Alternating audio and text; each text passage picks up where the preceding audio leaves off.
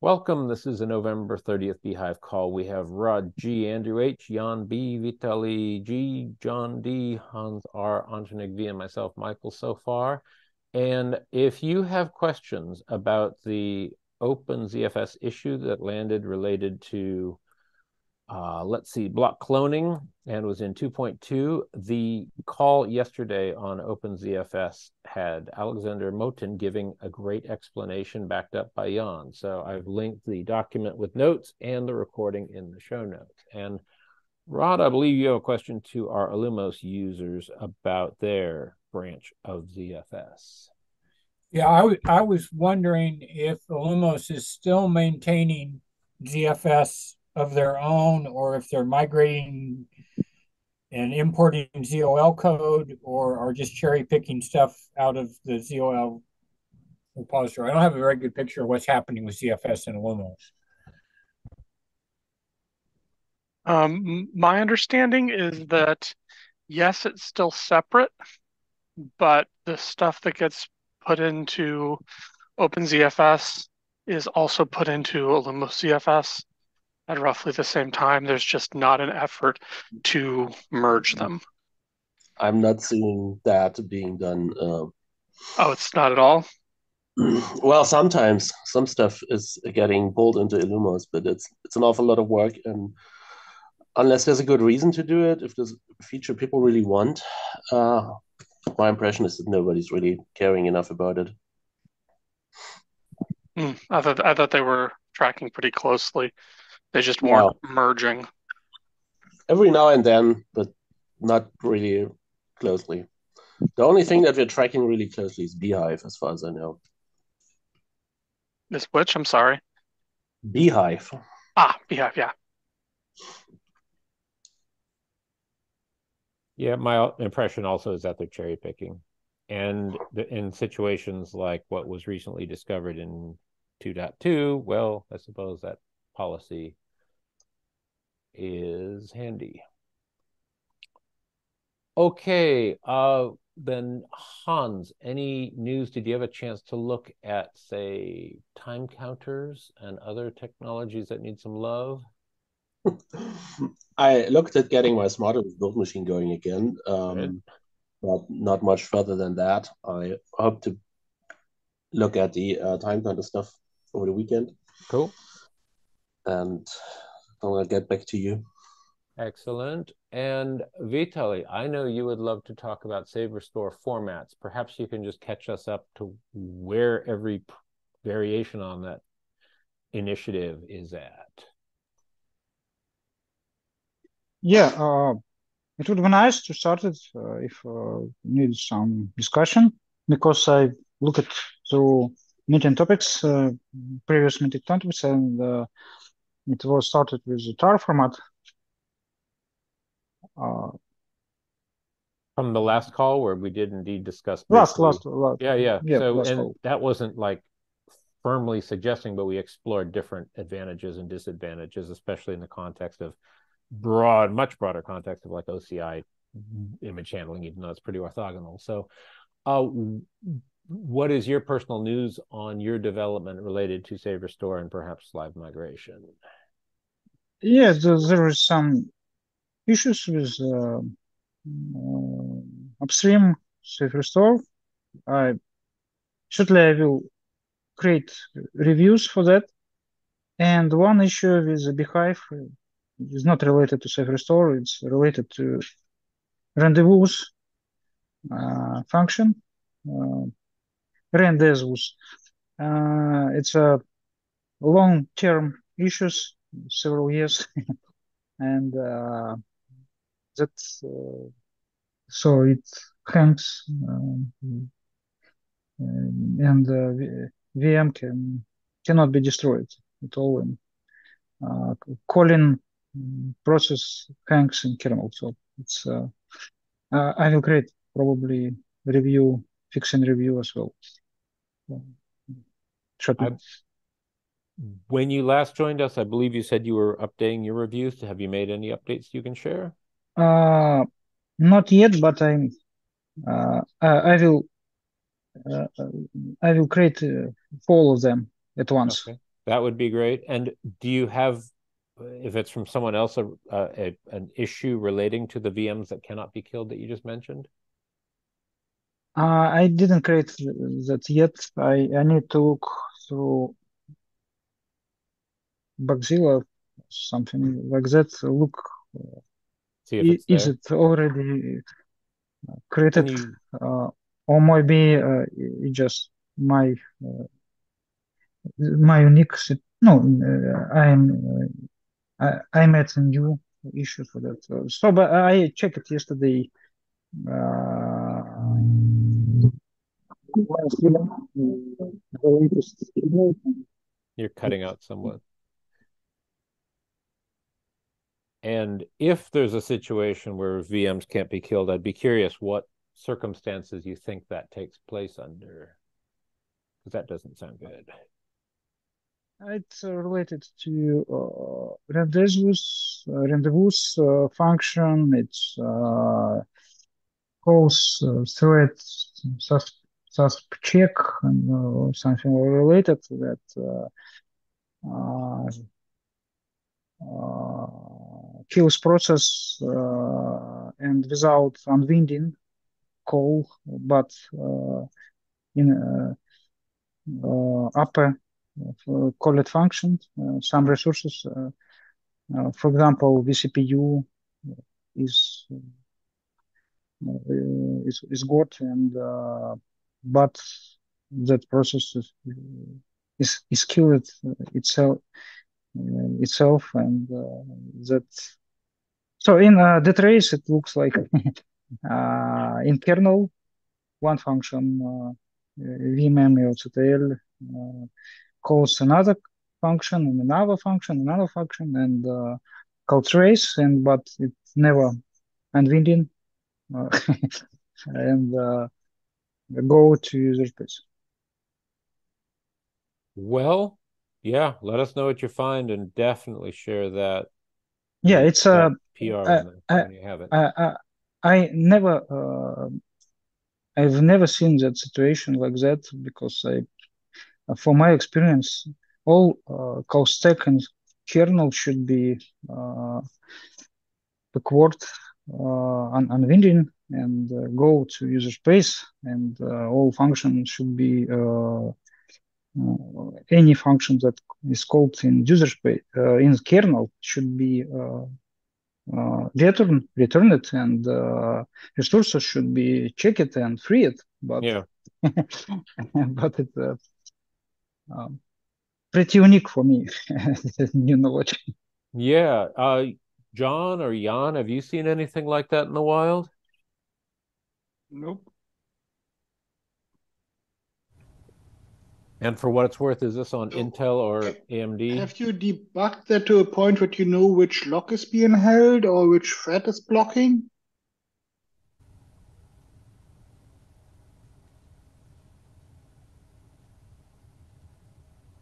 Uh, I, I mean, uh, it, it could be uh, memory can be locked, or for uh, something mutex, mutex can be held. So, but uh, for my situation, the CPU is uh, is changed state, but uh, after uh, thread and process is killed, it, it, itself, the CPU. Because it uh, nested function is never exited. Uh, the CPU is uh, keeps in in state in usage state. So Any other questions for Vitaly? And uh, so then what architecture is that on, despite them being the same? Is it Intel or AMD? And what version of FreeBSD are you seeing that on? and the latest, uh, So you're on 14? Uh, uh, yeah, all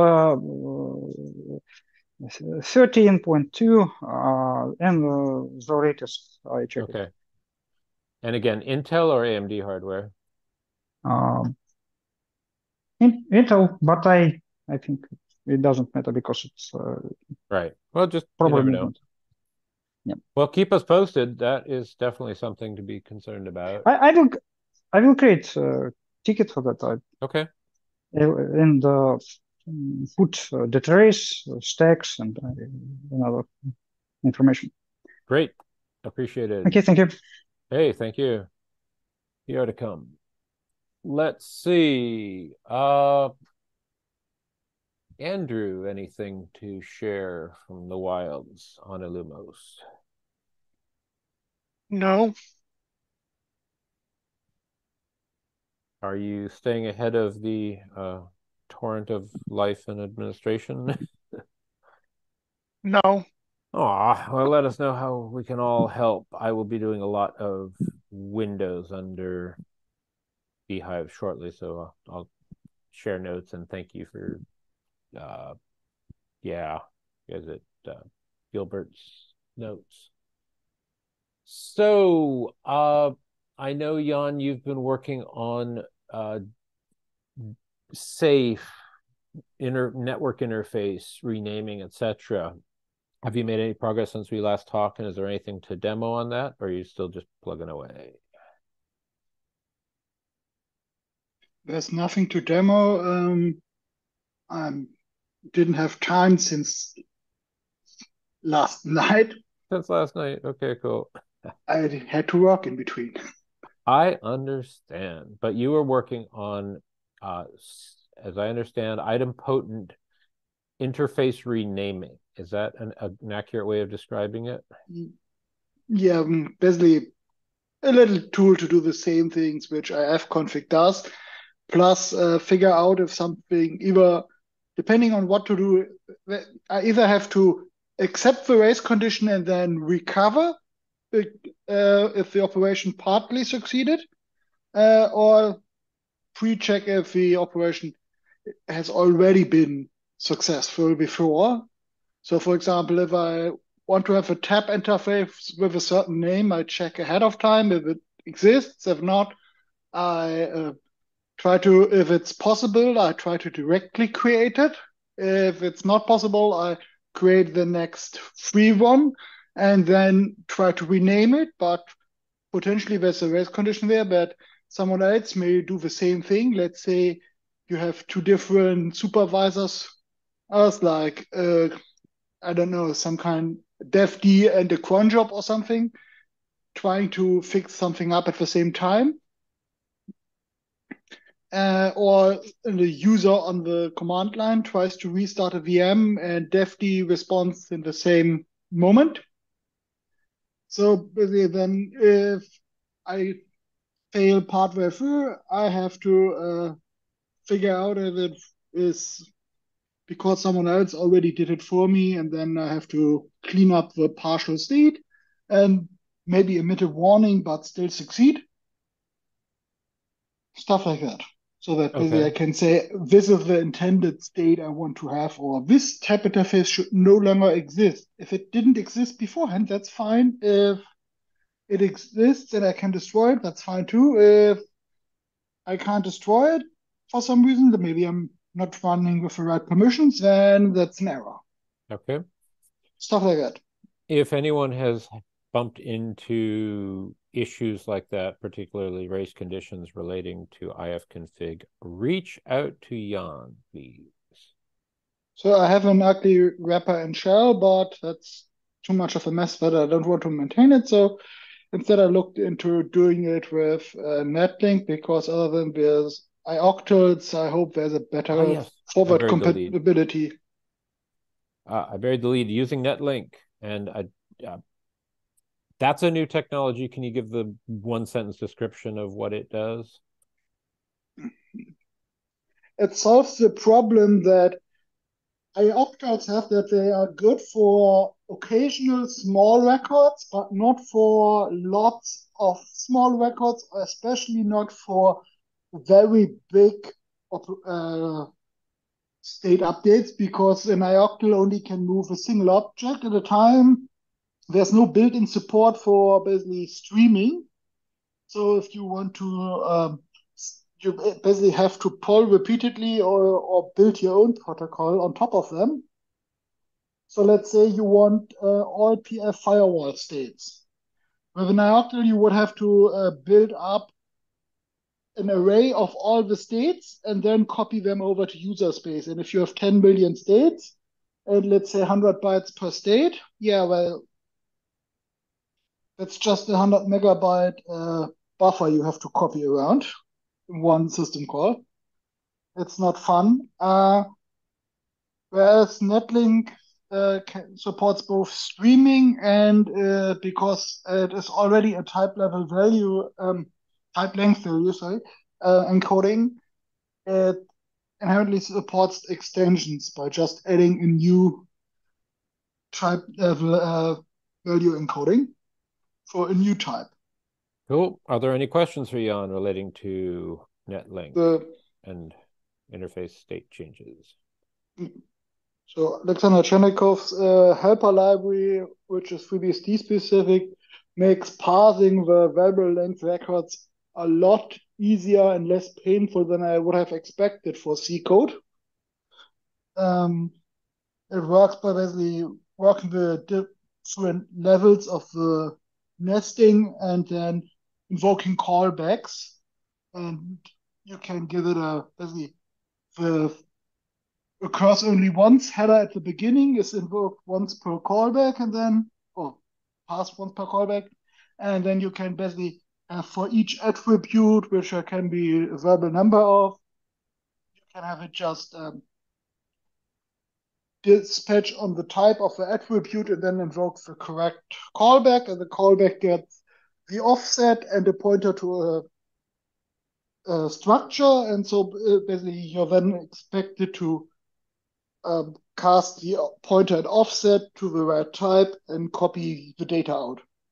So you and because we're already helpers for the common types like fixed size integers and zero terminated C strings and so on, normally you only have to specify this is my structure, uh, this is the offset of the field in the structure, and it should copy this type.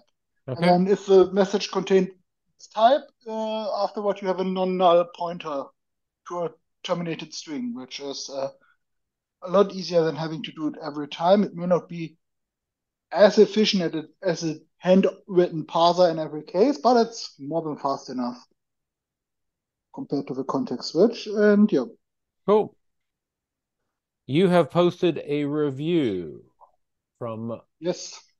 uh, authored by Mark J and reviewed by REW. What can you tell us about this? So um, this um, review, there- which uh, I was surprised to see has been committed already uh, in the current form, um, basically adds lib uh, lib support to bhyve, which allows running uh, network-connected bhyve guest without uh, root uh, privileges, because basically it emulates in the tablet device to the instead of so instead of a tap device, it emulates the guest device and then uh, passes the packets and uses the host stack to basically do a nut in user space or in the bhyve process in this case.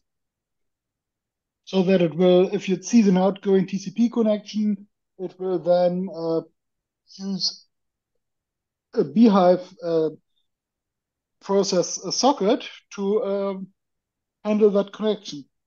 So it's really uh, not the most efficient way of doing things, but it is easy to allow rootless uh, guests. That was his use case. Root as in root user or Root as other- in you, do, you don't need to be root on the host system to start or stop. Okay, but then what about creating the virtual machine itself? Yeah, for that you need permissions on the device. So, so if you have a, you have to set up the permissions in the DevFS, but it looks like the rest you don't have to be root anymore. At least that was the goal. Oh, interesting. Um, so if you have the permission to create the device in the uh, VMM directory, you can create a new uh, device. That's his use case. Probably uh, useful to restrict this to a dedicated group, but yeah. Or you could have a helper here, but yeah. It's also used, for example, in Linux uh, for rootless containers. Yeah. No, that's fascinating. There you open a tap device, put the tap device into a network namespace, and then have the process doing the emulation, which now happens in uh, bhyve's user space process. In that case, they keep it in another namespace so that it can use the normal network. It's really uh, kind, uh, quite involved uh, emulation because basically you have to run your net router and I don't know how they do IPv6, but supposedly it is possible. Uh, I don't know which design they chose, if it requires more configuration or if they assume that you can use uh, DHCP v6 prefix delegation to get the prefix, or they even uh, went totally uh, crazy and implemented uh, stateful NAT66. I don't know what they're doing, but I just found it an interesting uh, development. Mm-hmm. Of course, uh, at least in FreeBSD, you could also set up the system in such a way that you don't have to be root, either maybe for the right kind of mandatory access control or through uh, helpers which respond on your behalf. Basically, if you ask for certain things, DevD will do it for you. But yeah, that's Interesting. currently Yeah, I, I had asked him about this maybe nine months ago, and he said it would be quite involved, but the whole notion of gradually removing the obstacles is quite cool. Thank you for that. And Antranig, did he answer your question about the equivalence to net user on QEMU? Yeah, as far as I understand, it's basically the same idea, and it does actually it also uses the same library. Oh, sorry. Mm. Yeah, it does also get us closer to uh, non-root uh, bhyves, although uh, uh, te- technically, I mean, technically, we can now also have non-root bhyve if everything is configured properly, or Yes. would the pros, yeah, yeah, right? Like a, an- a non-root user can run bhyve as long as the VMM device and everything else is created for them in advance. Or they have the right uh, access permissions on a maybe dedicated device file system to change root into or something. Yes, of course. Yes. So you could have that as well. If you don't want to apply uh, the right group permissions, you could instead have a dedicated uh, mount point to change root into, and that Does contains that then a device file system with different permissions. does that mean that we Uh, can change some defaults on FreeBSD where like we can have a group called VMM and a proper permission in DevFS that any user in the uh, VMM group can just create a uh, VM device and now we have uh, rootless bhyve be, be, be, uh, The bhyve problem is to make it useful, you also have to access the network and Uh-huh. storage. So for Okay. file-based access, that would be easy. So file raw disk image files are no harder than normal files. Mhm, mhm. Um, for dev, uh, for zvols, you have to change again the permissions on the devices, then you can read and write them. What I Of don't but know that, if there ca- are any uh, uh-huh. explicit privilege checks around uh, initializing the VMM device. It could be that there's a Ah, safety see. net there, or it could be I that see. because uh, the permission by default has always been to only enable uh, write access on the directory and the fi- uh, device nodes to root, that there is no extra uh, privilege check which would prevent you from letting nobody uh, wire down 200 gigs of memory just for uh, shit and giggles. That, that does bring I haven't me looked at to that. that does bring me to two questions. Can the ZVol issue be solved on the ZFS layer, where like you know, because ZFS does, maybe? uh, yeah, via delegation. Is that possible, Jan? I don't know. Uh, I don't think so. That's like for administrative procedures, but yeah, I guess it's a permissions issue. It is really uh, the problem is you have to assign ownership to the, the device nodes. I don't know if that's Okay, preserved because I didn't have a use case for that. Okay. And my second question would be uh, uh, also on Linux, they solved it in a very Unixy way, uh, Unixy way back in the old days, where there's also a group called the TunTap. I think it got renamed to Tap lately or Tune or Yeah, one of those things, which allows the user to create a TunTap interface with the proper permission. So, you know, on FreeBSD, we have, let's say, uh, pros um, interface tap zero. The kernel is aware that tap zero is being used by process one, two, three, four, and it technically it also can be aware that it's it belongs to let's say UID one thousand, and we might also you know add the basically two groups, one for VMM, one for TunTap, and uh, or tap in our case. We don't we don't use tunes basically on FreeBSD, and and have that problem solved of having rootless a bhyve uh, for the networking. Of course, this uh, just assumes that like NAT is pre-configured for you. Although uh, uh actually that, that that's that, that's also a question. Can you have a can you have a um oh you can just use the UUCP interface? Is that what okay. Uh, no, what a... I wanted to show is that this is the default uh, permissions. Mm -hmm of the slash oh. dev tap device, and that device uh-huh. has cloning behavior, which means if you open it, you get a new tap device. Uh-huh. And so, uh, if you just now let's let me check what happens uh, if I open uh, become the UUCP user, and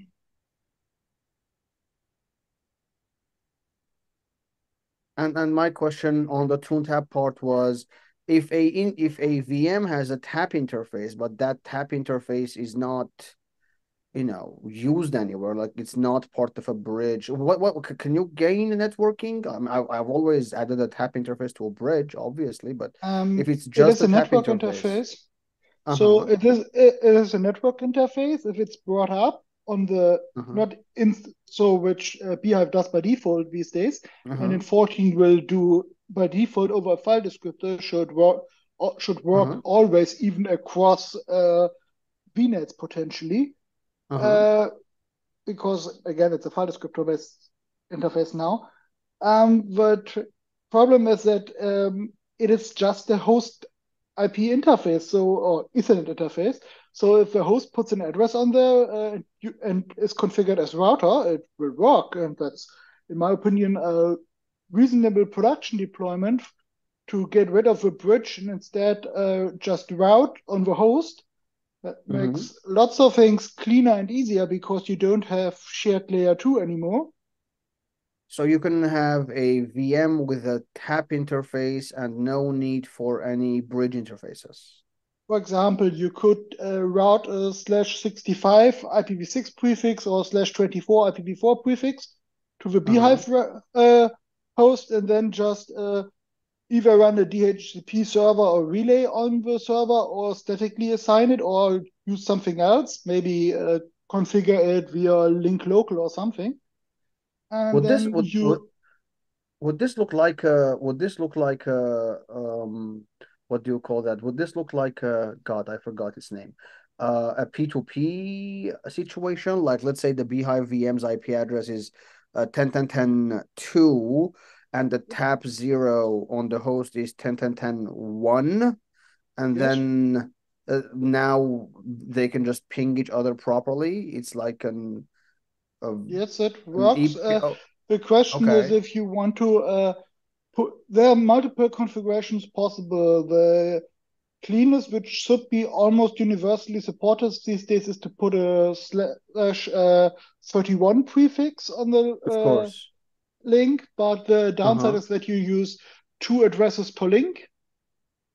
Uh, you can also put a host uh, IP on the interface uh, okay. inside the guest, and then um, just one IP, so basically unnumbered tunnels uh, yes. for the networking for and then you uh, lose less IPs. One of the downsides in uh, redundant deployments where in a really in a routed network would be that you can black hole route uh, a path if you have an indirect path and the direct path is blocked, but with a VM with only one path, that isn't a problem.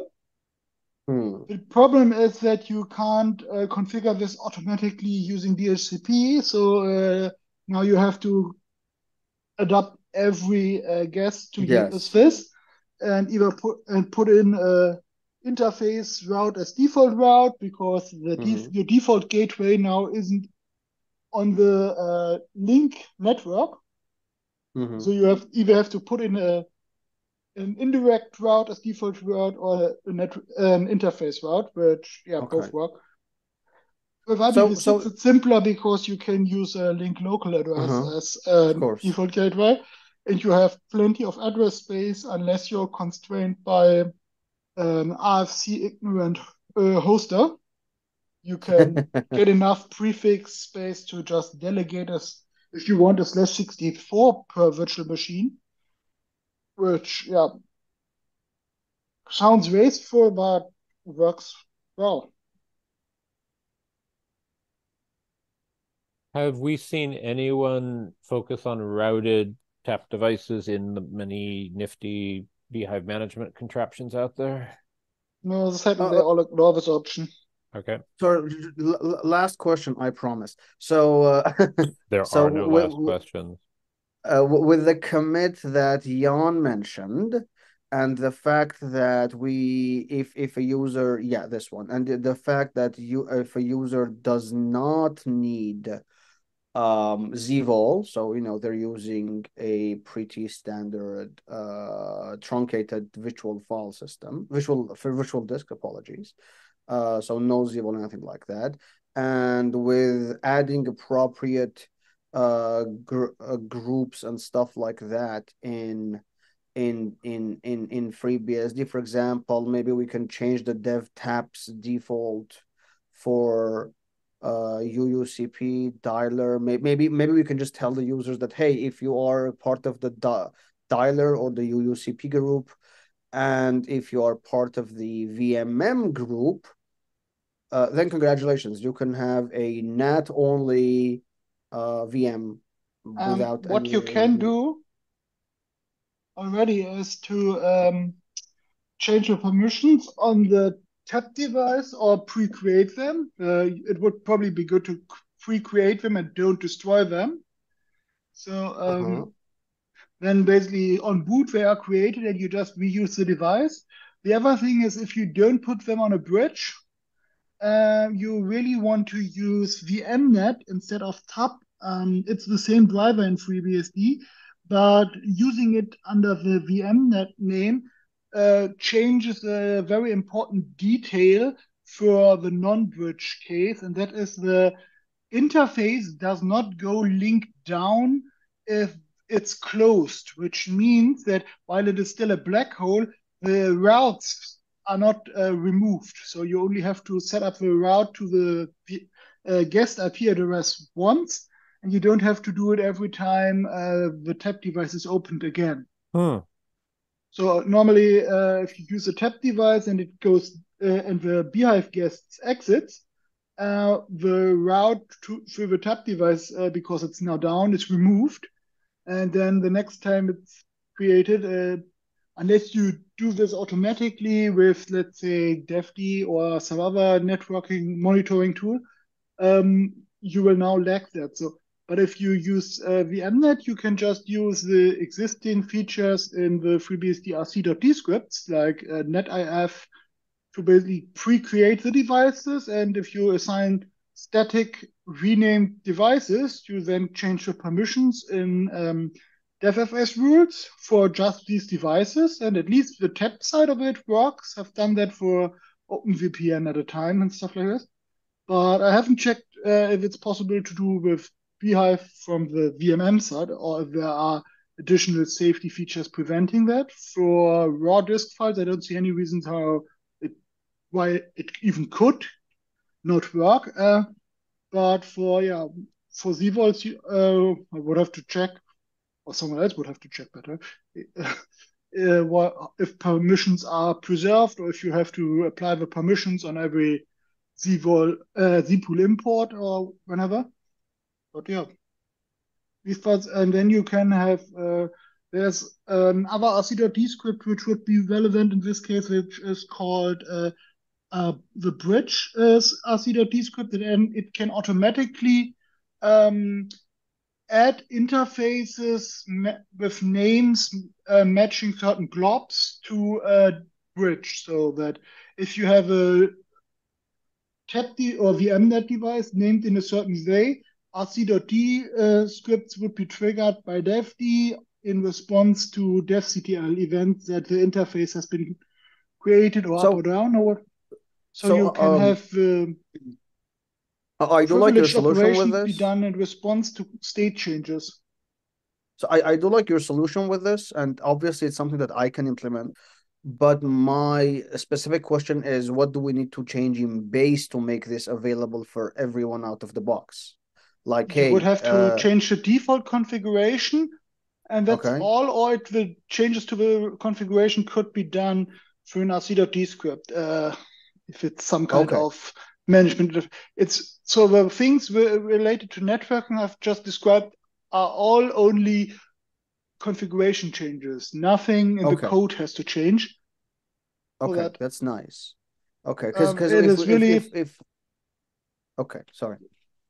Because if we do achieve this, it means we are closer to a scenario where uh I want to say normies, also aka non-operating system developers, uh can use tools such as Packer uh in order uh, uh, tools such as Packer on FreeBSD, right? So for example, Packer uses a backend with Q, Q uh, with QEMU KVM or VirtualBox or whatever your operating system supports, but it it never worked with a FreeBSD backend properly because of lack of the bhyve support for the user. Like you, you could use Packer technically with bhyve, but you had to be root, which is you know not a common scenario on uh, on on on developer machines, right? Again, non-operating um, system developer machines. Uh, so it, it might be it, it might be an easy fix, you know, to be like, hey, uh, if you want to use Packer, change these configurations here and reboot, and congratulations, now you, don't even have to reboot. You only have to apply Exactly. them by way of Yeah, running the and- rc.d scripts. So Yeah. Yeah, and now you can use um Packer with FreeBSD, you know, so or, or they're technically Packer with bhyve. So th- that might be a good uh, good um, ecosystem integration. Uh, again, we, we also have to talk with Packer and, and Vagrant and uh, uh, was it called Vagrant? Yes, I think it was called Yep. Vagrant, and and and and and, and ecosystem solutions like that if they are uh, at all interested in supporting FreeBSD, you know. But uh, at least we will have the ability to do that. realistically speaking, we shouldn't ask the big projects if they care about FreeBSD, but we should find out if there are FreeBSD users who care about these projects Hmm. and want to push, uh, try to push changes upon them upstream Uh-huh. or maintain uh, them as patches in ports. Um, because um, it's quite unlikely that uh, Vagrant or Packer asked FreeBSD to please, please, please make this possible for us. Instead, it's probably upon us to make it possible for them. And then here's the code, please take it. So here's a someone else. Packer project for VirtualBox, and that might be precisely the point you're making is maybe we could use bhyve. Yeah, Of so course that's we can. VirtualBox, of course. Huh. Of course. And uh, it, it it it becomes very interesting also because um uh we used to, I'm not sure officially or non-officially, release FreeBSD images for Packer and Vagrant.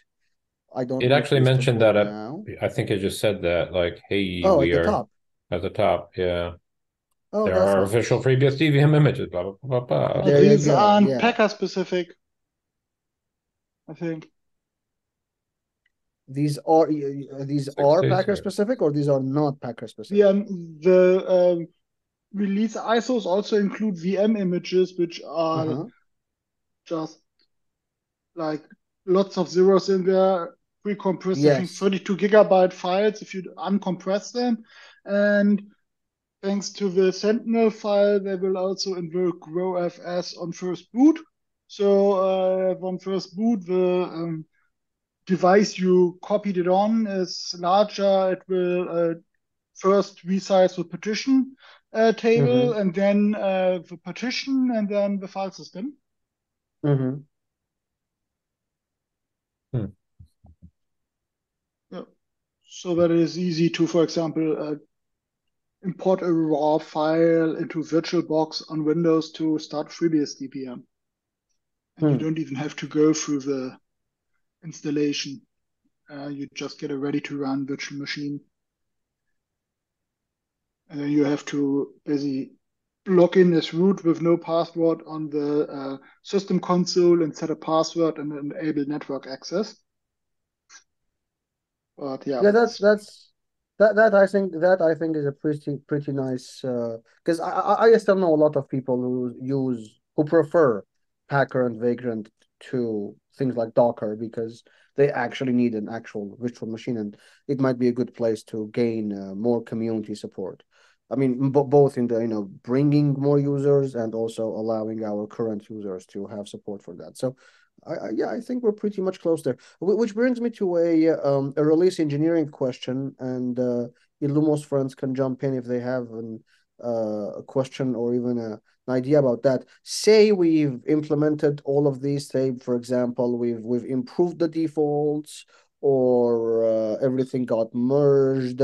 Does this mean that all of those features will be available in 14.1? So now everyone has to wait whatever that time is?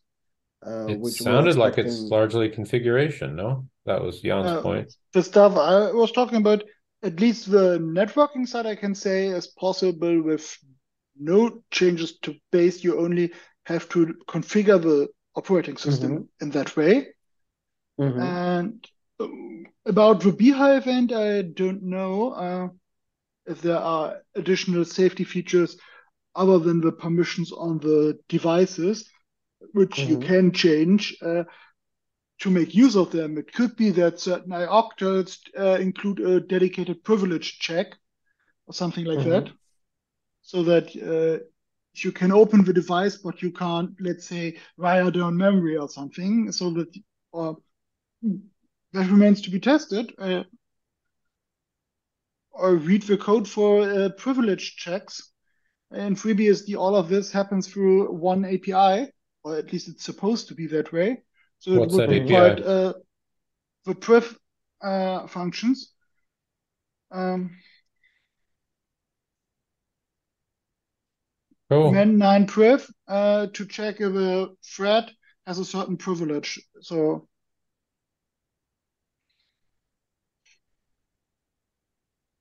these are the functions you would uh, look for. Uh, call sites of these functions in the VMM and related code.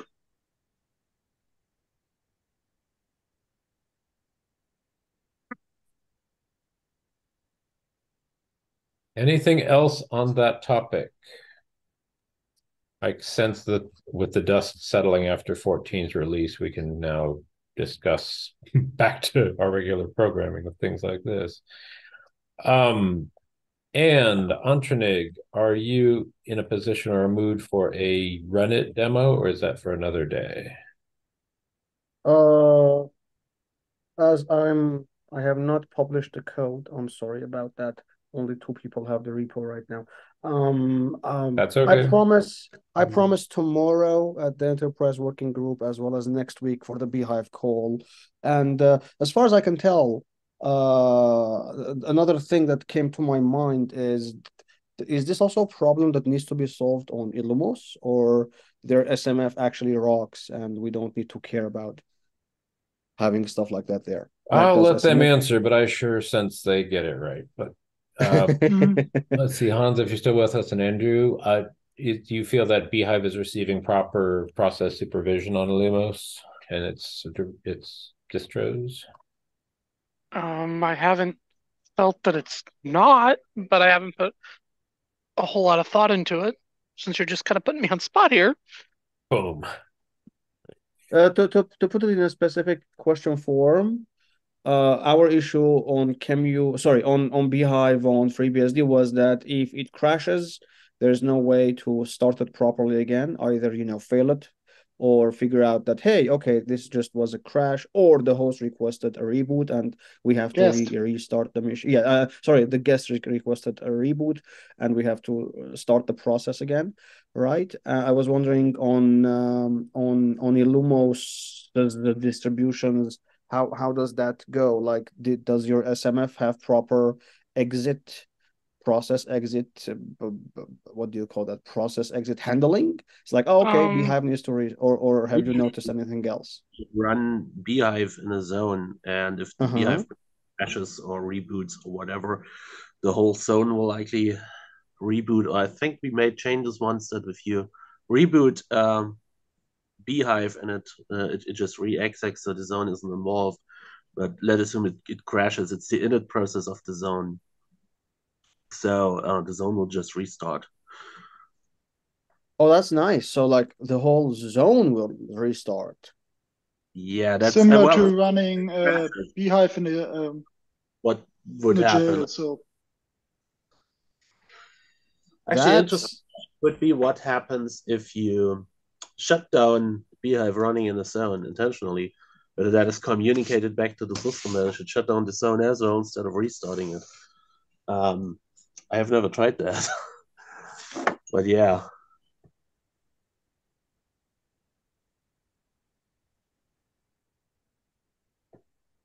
You know, every day I keep thinking, why don't we just use Illumos? It's, it solves 90% of our problems, you know. I'm not so certain on what it does on a VM crash, to be honest. Um, because I haven't had that many situations where the VM crashed rather than the guest OS crashed because those are those are really two different, different things when you think yeah. about it.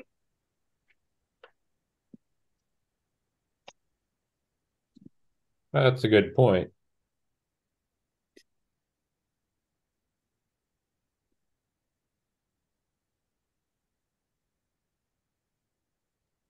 And well, if that the crashes, I mean, the bhyve process continues running, and the guest OS will do whatever it does when it crashes. And if that involves rebooting, then that's what the bhyve process would do. Actually, what we did while I was at Joyent was um, give um, bhyve the Illumos bhyve uh, a way to just re-exec itself, or rather, could have been even the zone Demon that just re-execs the init process in that case if that because actually I believe that the bhyve process exits if the guest reboots.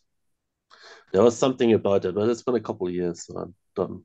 Well, that's the behavior on FreeBSD is that the intention or cause of the exit is encoded into the exit status, and it's documented in the main page which uh, exit status uh, corresponds to uh, which cause for the uh, process to exit, from reboot to halt to shutdown to uh, triple fault, and anything about that is uh, an unexpected bug in bhyve. So basically, you have to dispatch on the exit code of the bhyve process and then decide what to do with it and that code does not exist within the bhyve user space process, but it has to be its parent process doing it, as things stand in FreeBSD, which is where the usual process supervision suits like Runit or S6 or other stuff come in. If you use the base system FreeBSD daemon command, you have to put your own little shell script in between to dispatch on the exit code because daemon in base does not support the running a two-phase setup where you have um, one process which runs to completion and then another one getting started in response to inspect its exit state and then decide whether to restart it or not. That is not implemented in daemon because that's basically describing what the already available uh, process supervisors and ports do. hold that for our demos of Runit and S6RC. those are exciting and coming, and I posted those exits out of the manual page. So if on Solaris, for example, SMF service supervision uh, supports dispatching based on the exit code, that's all that's required to implement it. That's a quite common feature. I don't know if it's available or it is supposed to be in some way mapped to a contract, which is a Solaris specific concept. Um, again, there are lots of ways to skin that cat. Well, on that beautiful note, which does refer to caterpillar tractors and earth movers, not poor felines. Um, anything else, or shall we call it at about an hour?